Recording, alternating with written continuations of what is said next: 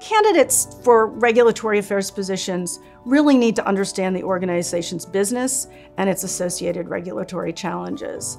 So looking at an organization's history with their regulators is a great starting point. There are many resources for this, but you can often go online to look at the financial disclosures that the organization publishes itself. Plus, you can go on to regulatory websites and look at anything that's public information there.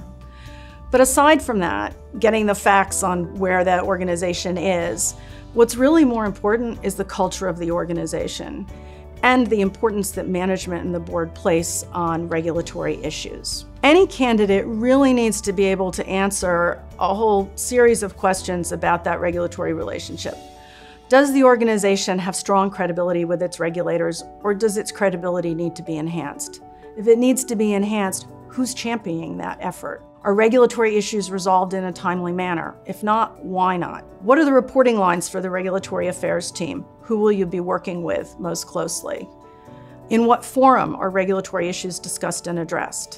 What does the organization see as its regulatory priorities?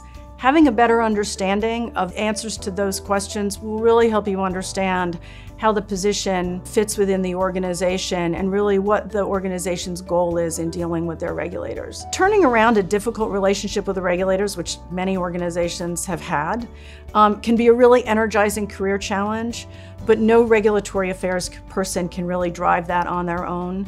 You really have to have the buy-in of the most senior executives, so it's really important to understand what their view is and the sort of resources that those senior executives are willing to put towards um, addressing any regulatory issues that might exist.